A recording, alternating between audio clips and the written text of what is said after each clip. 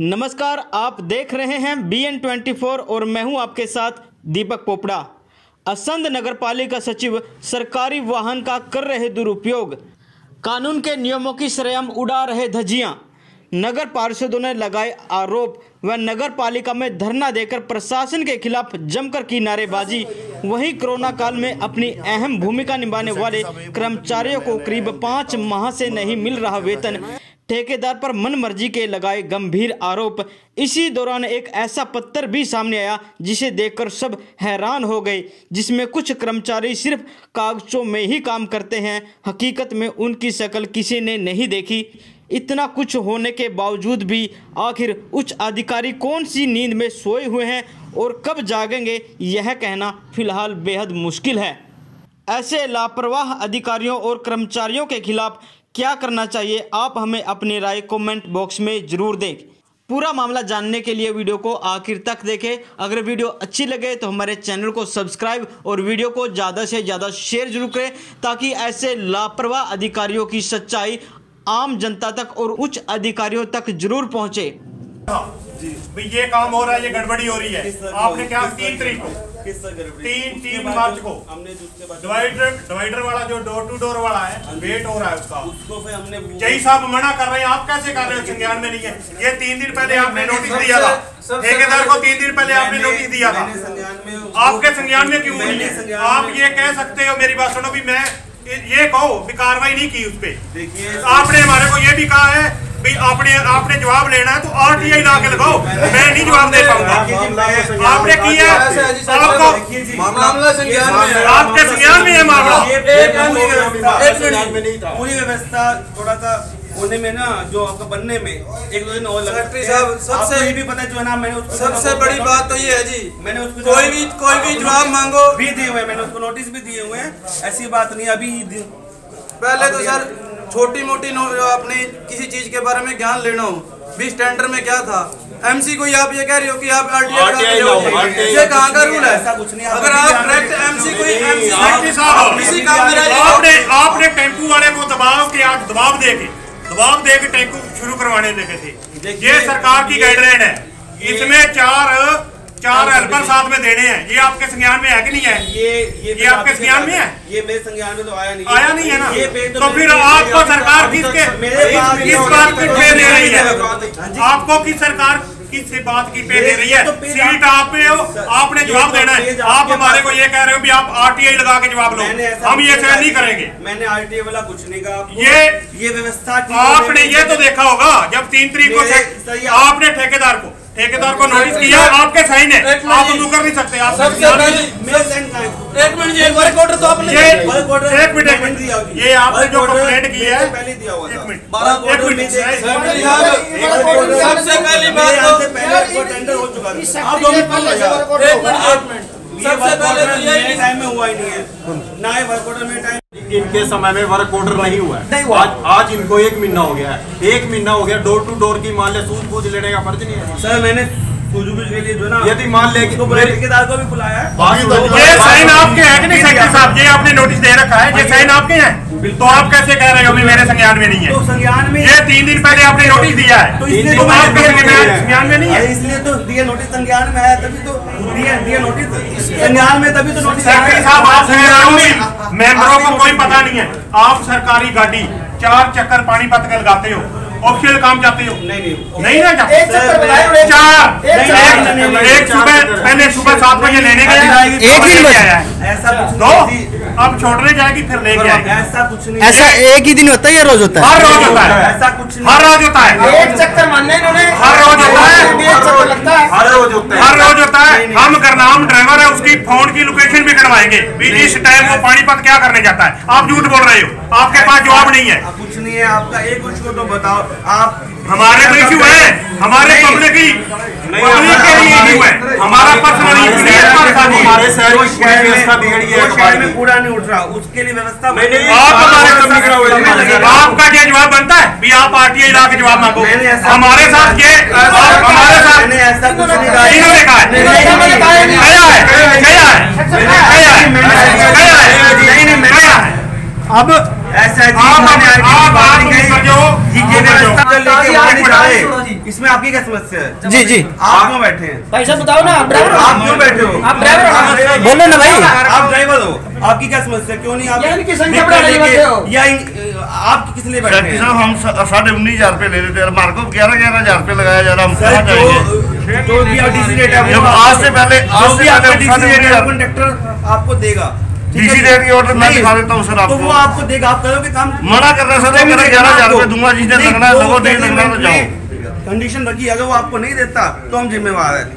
तब हम DC हैं तब हम हमारे हैं। बिल्कुल जो डीसी रेट है आपको दिया जाएगा। लेकिन अगर आप इस तरह से आप मान लो बैठ जब तक आप फ़ील्ड में जाओगे नहीं काम करोगे तो बताओगे सैलरी कैसे सैलरी मिलेगी? इनके साथ आपने भी तो शहर व्यवस्था को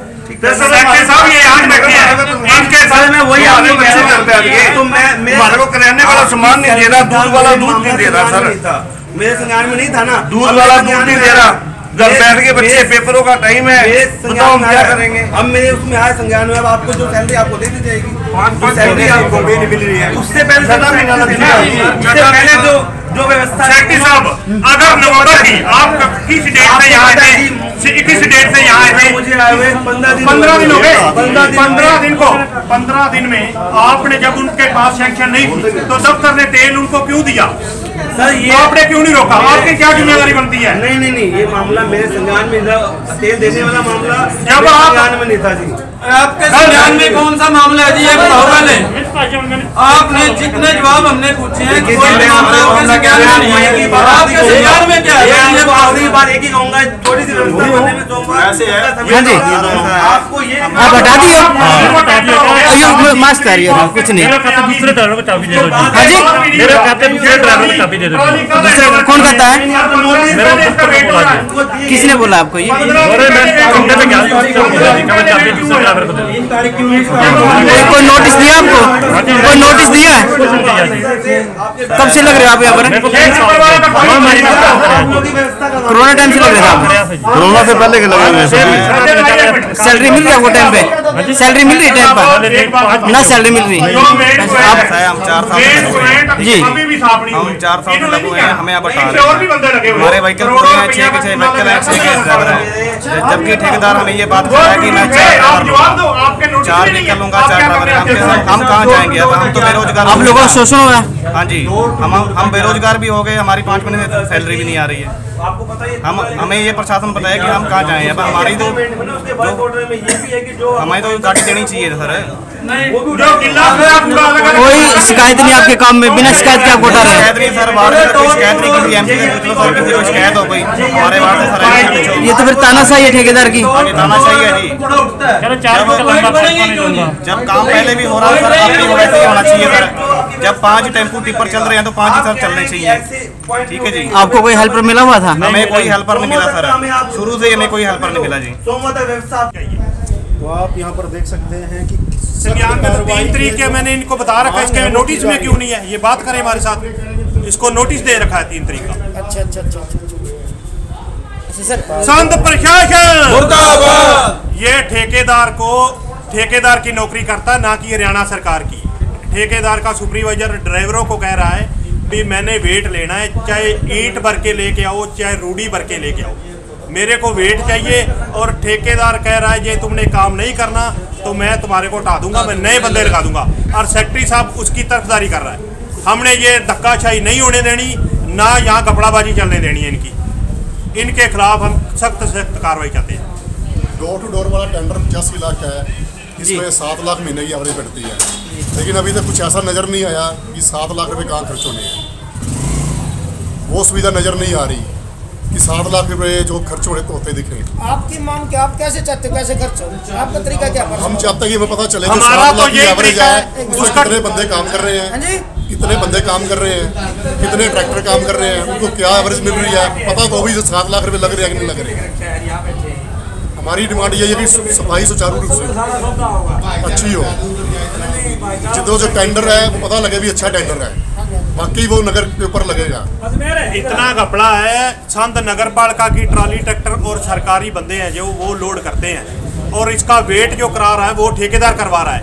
हैंड ओवर कल की है। वेट इसका पंद्रह दिन से चल रहा है। इतना धक्का भी कहीं देखा होगा। ये इनको पूछते हैं ये कह रहे आप बात नहीं कर सकते। आपने कोई जवाब लेना है तो आरटीआई लगाओ। हमारे को वार्ड ने चुन रखा है हम वार्ड से पार्षद बन के आए हैं। तो हमारे को ये कहता है आप चेक करके आओ कबाड़ कहाँ पड़ा है। हमने इसको व्हाट्सएप भी किया है फ़ोटो भी दी हुई है। आप जाके देख सकते हो हर एक पॉइंट पे सारा कबाड़ कबाड़ ऐसी पड़ा है। सुबह सात बजे से ड्यूटी शुरू होती है। आज भी जाके आप देख सकते हो पत्रकार भाइयों से यही विनती करते हैं भी आप जाके देखो कबाड़ पॉइंटों पे कितना कितना पड़ा कितना कितना जब जब डोर टू डोर का टेंडर हो गया है तो मान लिया कि पॉइंट का मतुल क्या है? डोर टू डोर का अर्थ है कि आप एक ही डोर टू डोर सब कबाड़ को कलेक्ट करना और कबाड़ वाले स्थान पे पहुंचाना। ना कि कोई पॉइंट बनाना। इन्होंने इन्होंने प्रत्येक स्थान स्थान पे पॉइंट बना लिया है कि आप यहाँ यहाँ पे कबाड़ डालेंगे यहाँ पे कबाड़ डालेंगे यहाँ पे कबाड़ डालेंगे। तो ये कोई सफ़ाई व्यवस्था थोड़ी होगी इससे। आपका धरना कब तक चलेगा। टेंडर कबाड़ डालने के लिए कबाड़ उठाने के लिए हुआ है। ये कबाड़ डालने का हो गया कब तक चलेगा आपका धरना जी? जब तक हमारी जब तक जब ये तक पूरी नहीं होगी धरना ऐसे ही चलता रहेगा। कपिल मदार से बात करेंगे। जी। कपिल जी बताएँ इसके बारे में आपके लोग बैठे हो आपकी तनख्वाह किस कारण से नहीं है सेक्टर रहे ये हम छः सात जने बच्चे ड्राइवर हैं हम हमने डोर टू डोर वो करा है। हम गंदगी उठाते रहे हैं पाँच छः महीने हो गए हैं।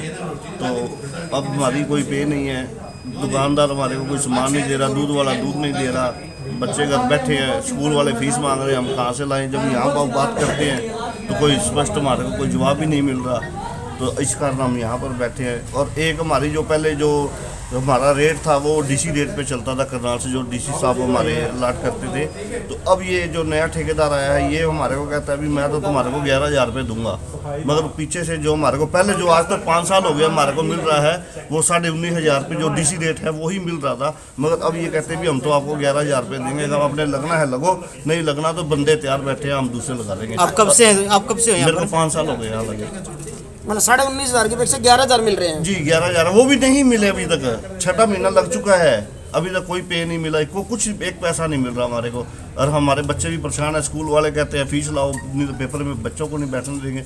हम बताओ क्या करें? इस बारे में बताएँ सेक्रेटरी आपको तनख्वाह नहीं दे रहा है। ऊपर से एसडीएम से डीसी से मिला है कोई डिपार्टमेंट नहीं नहीं हमारे को यहीं पे ही लारे पे लारे लगा रहे भी आज हो जाएगी कल हो जाएगी आज हो जाए फिर बोलते हैं भाई हमारे पास तो जो वर्क आर्डर था वो ही नहीं था।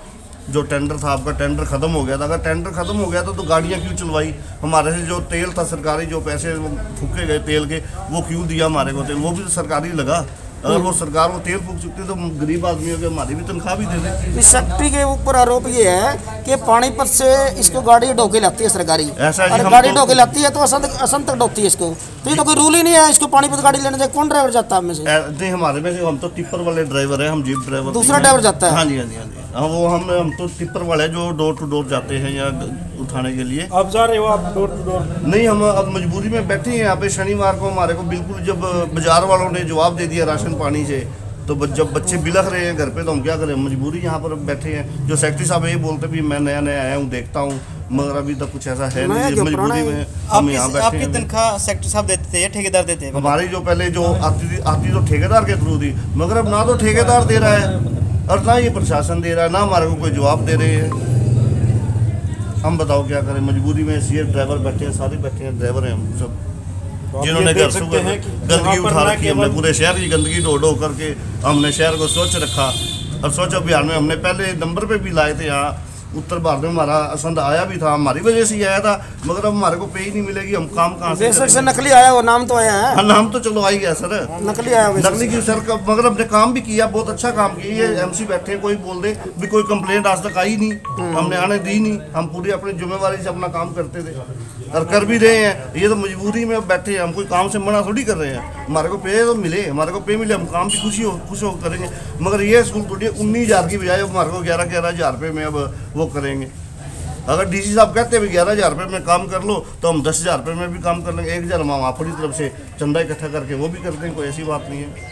रेट है तो वो वो देगा। सर लेबर रेट से कम तो दे ही नहीं सकते सर, ला मैं है। वही कह रहा हूँ, अगर- ग्यारह हज़ार मिल उन्नीस हज़ार का नहीं नहीं मैं वही कह आपको जो भी उसमें एक्ट में है जो भी आपको लेबर वेजेज में है वो वो देने के लिए बाध्य है। अगर वो मान लो आपका नहीं देता तो हम उस पर जो एक्शन बनेगा वो करेंगे। सर पाँच पाँच छः छः महीने से नहीं मिल रही। सर पाँच महीने है। संज्ञान में नहीं था। कि पाँच महीने से तनख्वाह नहीं मिली। हर ये मामला मेरे संज्ञान में नहीं था जी। ये मेरे संज्ञान में अभी आया बल्कि जो आरोप आपके ऊपर लगाए जा रहे हैं भ्रष्टाचार के नहीं मे- मेरा किस बात का बताओ ये तो ये आरोप ऐसे तो है। सर, ना सबसे बड़ा सबसे बड़ा ये है आप पानीपत से सरकारी गाड़ी आपको लेने जाती है और असंत लेके आती है। इट इज़ द ये करप्शन का पार्ट नहीं है। आपने क्यों अलाउ किया? मैं नहीं बैठता इसमें। जा नहीं सकती गाड़ी। सरकारी गाड़ी जा बी एन ट्वेंटी फोर से जुड़े रहने के लिए आप सबका बहुत बहुत धन्यवाद। यदि अब तक आपने हमारा चैनल सब्सक्राइब नहीं किया तो हमारे चैनल को सब्सक्राइब कर बेल आइकन हिट करना ना भूलें, ताकि आपके पास हर अपडेट्स पहुँचे सबसे पहले। एक बार फिर से बी एन ट्वेंटी फोर के तमाम दर्शकों को मेरा नमस्कार।